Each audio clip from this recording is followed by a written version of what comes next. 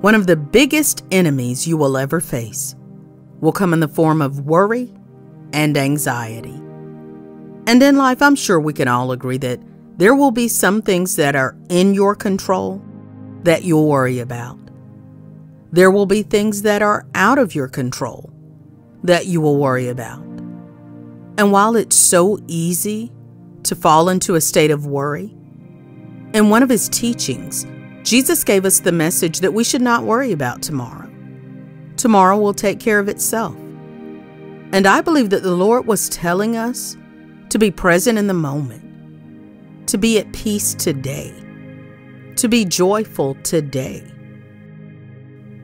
If you spend all your time and energy worrying, then you will always magnify the lack in your life or the pain in your life.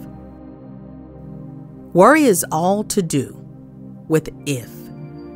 If I can't pay this, if I don't get treated, if they find something.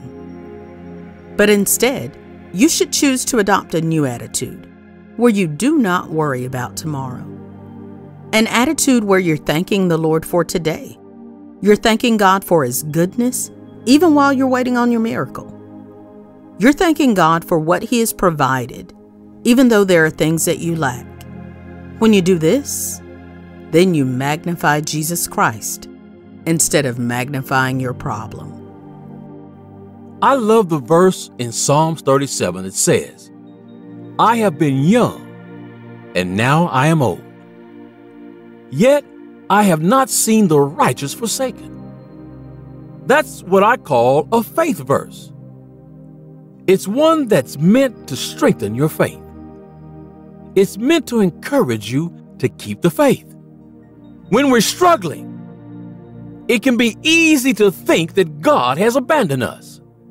After all, He has the power to deliver us.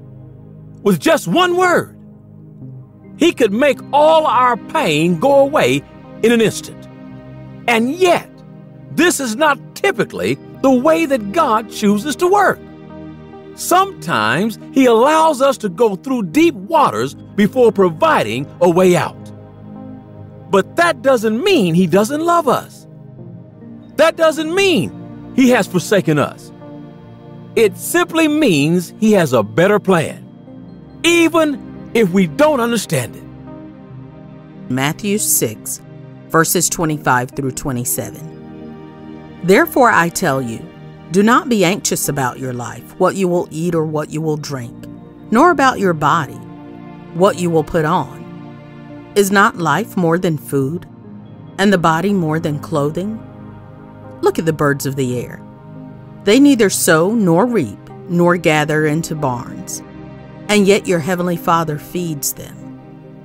Are you not of more value than they? And which of you, by being anxious, can add a single hour? To his span of life. The Bible also says in Matthew 6, verse 34 Therefore, do not be anxious about tomorrow, for tomorrow will be anxious for itself. Sufficient for the day is its own trouble. I believe that the Lord wants us to stop worrying, to stop pondering and wondering about what might happen tomorrow. Stop spending your effort and your energy thinking about what could happen tomorrow or even what should happen. You are blessed in this very moment and on this day. One pastor said, Don't borrow trouble. And that means don't worry about all the what ifs that we could face someday.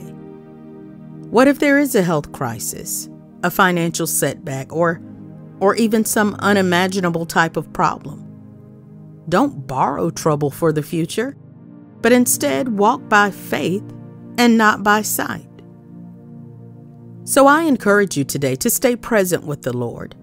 Stay present in your mind and in your soul. Do that by acknowledging Psalm 118, verse 24. This is the day that the Lord has made we will rejoice and be glad in it. A believer in faith will pray and say, God, stand with me in this storm I'm facing. A believer with worry will pray and say, God, what if this storm destroys me? What if it never ends? How come you're not stopping this? But for the person who wants to live their life in the way God intended, you have to decide.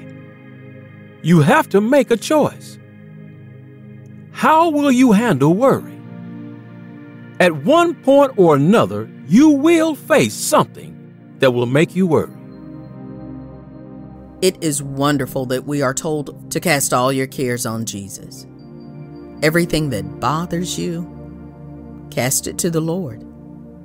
Everything that worries or concerns you, cast it all to Jesus. Because He cares for you with the deepest affection, and He watches over you very carefully. The Word of God says in 1 Peter 5, verses 7 through 9, casting all your anxieties on Him because He cares for you. Be sober minded, be watchful.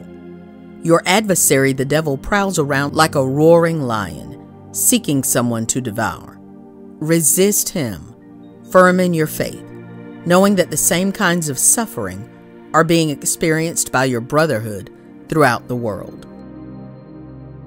When we let worry and anxiety consume us, it stops being adaptive. It becomes destructive. It becomes enslaving. Instead of focusing on God, we focus on all the things that could possibly go wrong, things that we usually have no control over. But there's someone who is in control our risen Savior, Jesus Christ. Understand that. The God who made the heavens and the earth is the same God who is watching over us right now. He is intimately involved in every situation. He is infinitely good and infinitely wise. He sees everything that could possibly happen. He sees our worries, and yet He commands us not to fear. He commands us instead to trust Him. He knows what's best for us, even more than we do. And he knows that in the end, Satan will be defeated. Love will conquer all, and the forces of darkness will be no more. See, no matter what's going on in our lives, God is in control.